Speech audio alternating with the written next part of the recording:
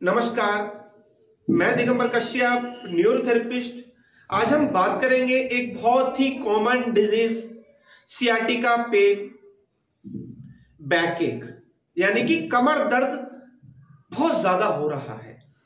इसका सबसे बड़ा कारण होता है हमारा लाइफ स्टाइल हमारा पोस्चर हम जिस चेयर पर बैठते हैं, वो चेयर कंफर्टेबल नहीं है। आज हम देखते हैं कि लैपटॉप कंप्यूटर हम ज़्यादा यूज़ कर रहे हैं। और हम चेयर पर, जिस पर बैठते हैं, वो कंफर्टेबल नहीं है। हम गलत पोस्चर अपनाते हैं, जिसके कारण से हमें बैक एक हो जाता है, हमें निरंतर कमर दर्द रहता है। जब हम ड्राइविंग करते हैं, हम स्कूटर बाइक कार ड्राइव करते हैं, जिसके कारण से हमें बैकेक हो जाता है, क्योंकि आज के रास्ते ऐसे गड्ढे ब्रेकर झटका लगा, और हमें बैकेक की समस्या हो गई।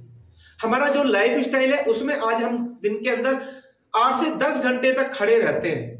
या घरों में महिलाएँ वो ज़्यादातर कार्य खड़े होकर करती है, जिसके कारण से बैकिंग की समस्या हो जाती है। सीढ़ी तेज़ी से चढ़ना, उतरना। घर में वज़न वाला सामान हमें उठा लेना। बाथरूम में या कहीं पर हम स्लिप हो गए, जिसके कारण से हमें बैक पर प्रेशर आया और हमें बैकेक हो गया, हमें सियाटी का पेन हो गया।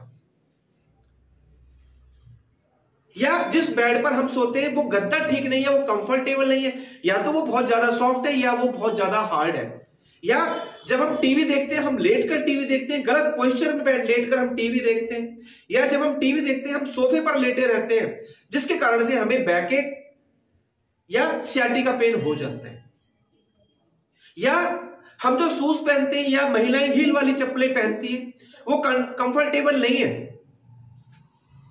जब देखा होगा आपने कि जो महिलाएँ हील वाले शूज़ पहनती यानी कि चप्पलें पहनती है, उसमें उनकी पैर पैर की क्या पोजीशन होती है?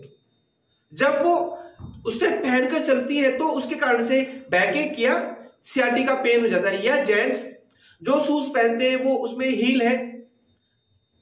उसके कारण से उनको बैके की समस्या हो सकती है। या एक बहुत बड़ा कारण जो जेंट्स लोग हैं, वो जो पीछे वाली पॉकेट है, उसमें पर्स रखते हैं, बहुत मोटा पर्स रखते हैं, और जब वो बैठते तो उनका पोस्चर गलत हो जाता है, या वो ड्राइविंग करते हैं।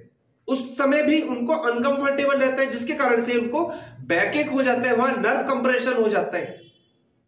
पेशेंट समझ नहीं पाता कि क्या कारण हुआ है लेकिन ये एक ऐसी बीमारी है जो पोस्चर के कारण से होती है। चाहे आपको बैकेक हुआ है, चाहे आपको सियाटिका हुआ है। सियाटिका हमारे शरीर की सबसे लंबी नर्व है, जो बैक से निकलती है और हमारे पैर की एड़ी तक जाती है। जब हमें सियाटिका पेन होता है तो देखा जाता है कि कुछ लोगों को हिप पर पेन होता है, कुछ को थाई के पीछे वाले भाग पर, या कुछ लोगों को काफ काफ वाले, जो काफ मसल वाला पार्ट है, वहाँ पर पेन होता है, या कुछ लोगों को पूरे पैर में दर्द होता है, कुछ लोगों को एक पैर में दर्द होता है, और कुछ लोगों को दोनों पैर में भी दर्द होता है। पेशेंट डॉक्टर के पास जाता है, सबसे पहले एमआरआई कराया जाता है, और कहा जाता है कि आपको सियाटिका हो गया है, आपकी नर्व कंप्रेस हो गया आपको स्टेनोसिस हो गया आपको बल्ज हो गया है अगर आपको बैक की, की कोई भी समस्या है चाहे आपको स्लिप डिस्क हो गई है चाहे आपको सियाटिका हो गई है या आपको मस्कुलर पेन है तो आज मैं आपको छोटा सा न्यूरोथेरेपी ट्रीटमेंट सिखाने वाला हूँ। आप ही ट्रीटमेंट रेगुलर करेंगे तो आपकी बैकेक की समस्या हमेशा के लिए ठीक हो जाने वाली है। तो आइए देखते हैं कैसे करें हम बैकेक का ट्रीटमेंट। आइए। Backache nerve compression stenosis sciatica pain के लिए बहुत इफ़ेक्टिव ट्रीटमेंट। ये पैर हमें यहाँ रखना है सपोर्ट के लिए और पंजे से रब करना है, घिसाई करनी है बैक की अच्छे से।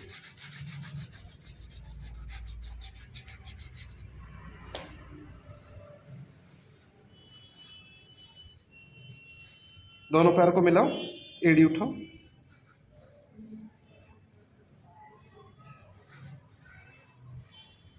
बटक्स पे अपने पैर से अंदर की ओर दबाव देना है, प्रेशर देना है।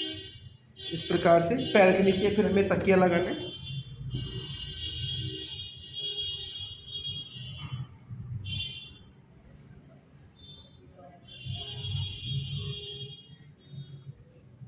फिर अपने अंगूठे से प्रेशर दें। पास पास पॉइंट बनाना है। साइटी का पेन कई बार एक पैर में होता है और कई बार कुछ लोगों को दोनों पैरों में होता है। साइटी का नर्व सेंटर में आती है, वहाँ हमें अपने अंगूठे से बिल्कुल सेंटर में प्रेशर देते जाना है। बिल्कुल पास पास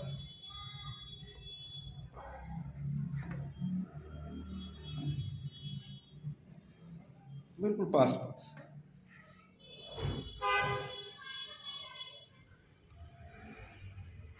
ऐसा तीन से चार बार कर सकते हैं पास पास पॉइंट बनाने।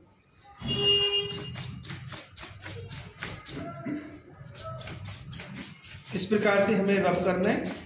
बहुत ज़बरदस्त ट्रीटमेंट बैक के एक सियाटिका पेन के लिए ज़बरदस्त ट्रीटमेंट आप ट्राई करें और इसके रिज़ल्ट देखें।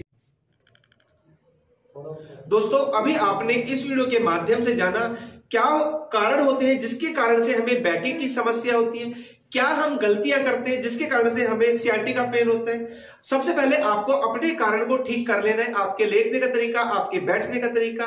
आपके काम करने का तरीका, साथ में ये न्यूरोथेरेपी ट्रीटमेंट आप करें तो निश्चित ही आपकी बैकिंग की समस्या हमेशा के लिए ठीक हो जाने वाली है।